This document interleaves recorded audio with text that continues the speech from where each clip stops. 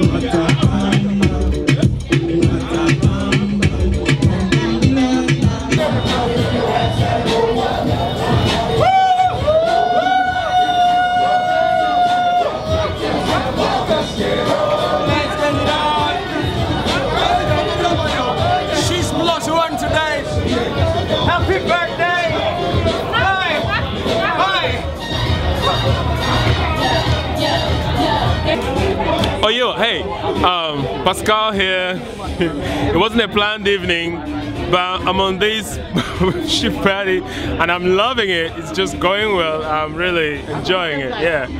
If you are not here, you can go and jump into the lagoon because you are missing. Yes, you you either not here because you don't have a visa, or you don't. I don't know what is wrong with you.